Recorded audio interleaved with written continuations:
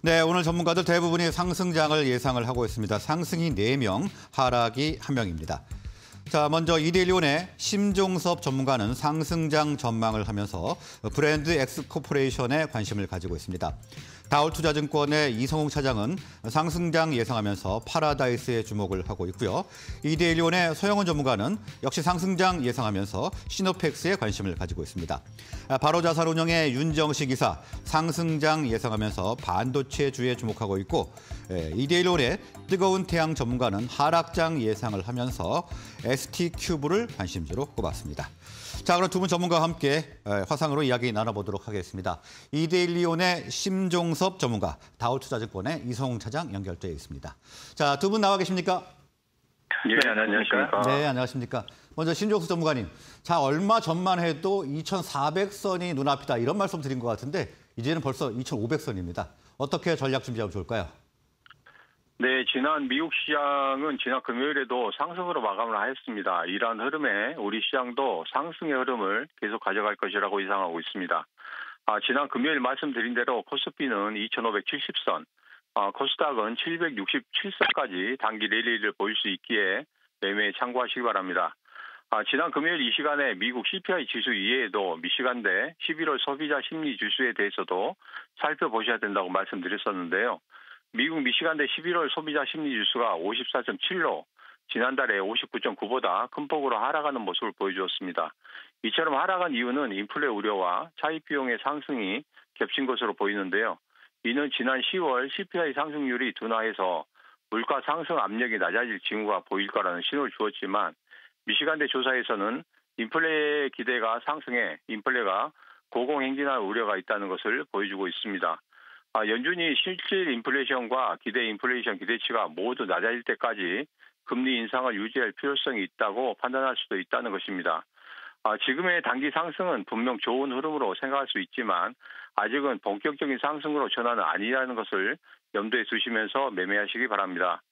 아, 그리고 오늘 시장에서 주목할 것은 런던 금속거래소에서는 러시아 금속 금지 도입을 철회한 것, 중국의 광군제가 지난 11일에 있었는데 이전과 달리 축제 분위기는 아니었고 알리바바 역시 이번 매출에 이번에는 매출에 대해서 발표하지를 발표를 하지 않겠다는 것 그리고 G20 정상회의에서 미중 정상회담의 흐름, 러시아 사태 대응 등 국제간 현안들에 대해서 주목할 필요가 있어 보입니다.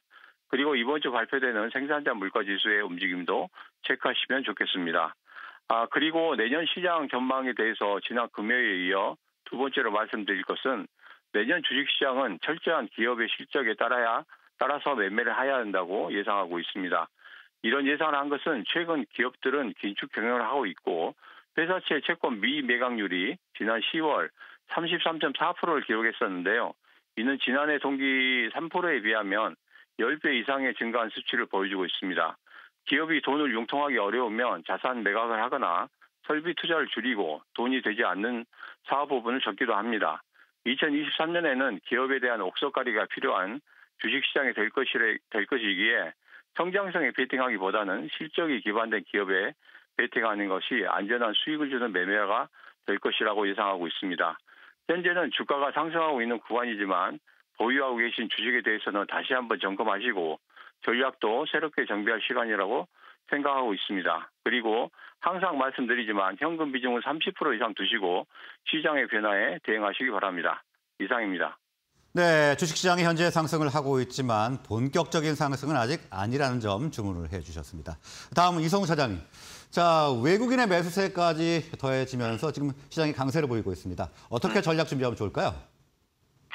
어, 물론 물론 이제 지나친 낙관론은 경계해야겠죠. 하지만은 뭐 단기적인 분위기는 좋습니다. 왜냐하면은 그 전에 지금 어, 올해 상반기 때까지 주가 떨어졌던 이유가 지금 그 선행 지표가 좀 바뀌었기 때문에 이 어떻게 보면은 단기적인 그 외국인 매수 랠리는 이어질 가능성이 크다. 그렇기 때문에 오늘 시장 같은 경우에도 긍정적인 상황으로 생각을 해야 되지 않을까 어, 판단되고 있고요. 우선 뭐 원화 환율 뭐 그동안의 어떤 외국인 수급의 증거이죠. 그게 원동력이라고 좀 볼 수 있겠는데 지금 환율이 어떤 수급 배선으로 이어지는 부분에 잘 진행이 좀 되고 있습니다. 뭐 그러기 때문에 이 딸 이 환율을 움직이는 요인 같은 경우가 어, 앞서서 말씀하셨듯이 여러 경제 지표 또 그리고 뭐 정책 여러 가지가 있겠죠. 하지만 이 정책에 대한 방향이 후행조 따라온다고 하더라도 결론으로 봤을 때 외국인들의 수급을 움직일 수 있는 거는 이 환율이라고 좀 볼 수 있어서 이 여기 환율도 그렇지만은 지금 현재는 음, 달러 약세에 의한 외국인들 수급에 대한 부분이 당분간 랠리가 이어지지 않을까라고 좀 생각이 되고 있고요.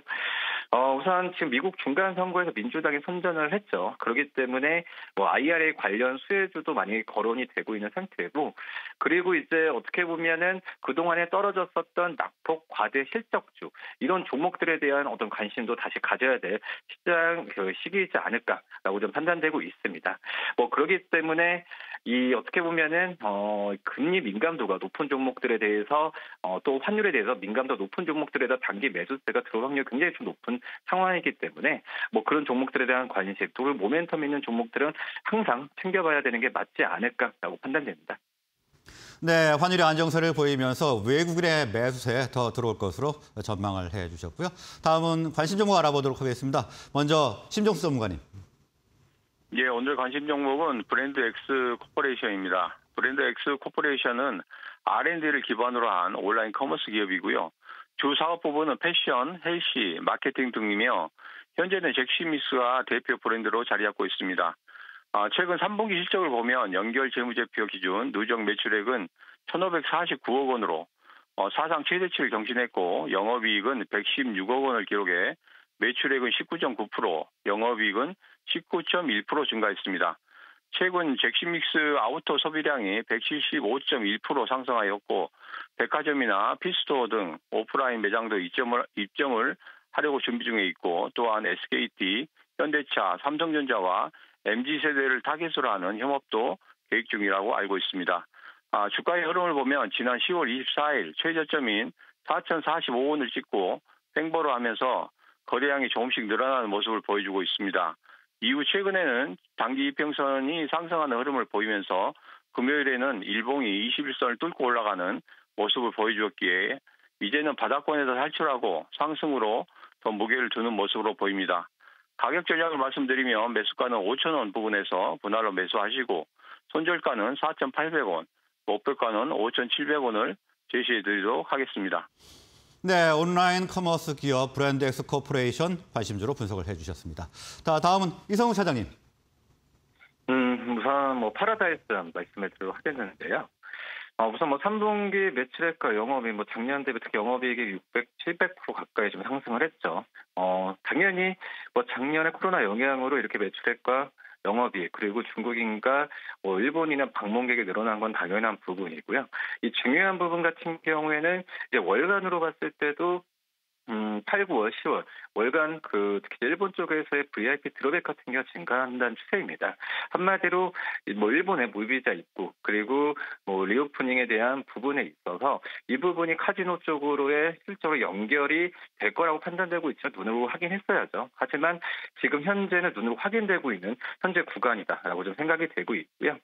뭐 그러기 때문에 지금 현재는 그 뭐 일본 쪽에서의 노선 부분 같은 경우에도 오히려 더 어, 수요가 좀 많은 상태죠. 공급보다. 그렇기 때문에 일본 쪽에서의 VIP 드랍액에 대한 어, 기대감은 높다라고 판단되고 있고 일본의 그런 드랍액 증가만 있는 게 아니라 역시 홀드율이 좋아야죠. 홀드율 같은 경우에도 10%대 초반 부분은 꾸준하게 유지를 하고 있기 때문에 이 파라다이스에 대한 실적 부분은 저는 긍정적으로 좀 봐도 괜찮지 않을까라고 좀 생각이 되고 있고요. 어, 지금 현재 4분기 때는 약간 뭐 파라다이스도 그렇고 이 기업들이 성과급 비용에 대한 부분이 있죠. 뭐 그러기 때문에 발생하는 부분이 얼만큼 나오냐 이 부분은 좀 체크해봐야겠지만은 당연히 작년 4분기보다는 올해 4분기 더 좋아질 가능성이 크다라고 좀 판단되고 있습니다. 그리고 이제 일본의 어그 일본 그 VIP가 입국자 증가하면서 인천 근처의 파라다이스 시티 호텔에 대한 어, 기대감도 한층 더 높아지고 있는 상황이기 때문에 어떤 특수성을 감안했을 때는 어, 3, 4월 달에 어떤 실적에 대한 기대감 이 부분이 주가로 잘 반영될 시기가 곧 오지 않을까 아직 주가는 덜 반영됐다고 판단됩니다. 그렇기 때문에 매수 관점을 접근해도 유효하지 않나 이렇게 생각됩니다. 네, 파라다이스 분석을 해주셨는데요. 실적이 지속적으로 좋아지고 있는 점 그리고 중국 코로나 봉쇄 해지에 대한 기대, 기대 감까지 말씀을 해주셨습니다. 자, 오늘 말씀은 여기까지 듣도록 하겠습니다. 두 분 수고하셨습니다. 감사합니다. 고맙습니다.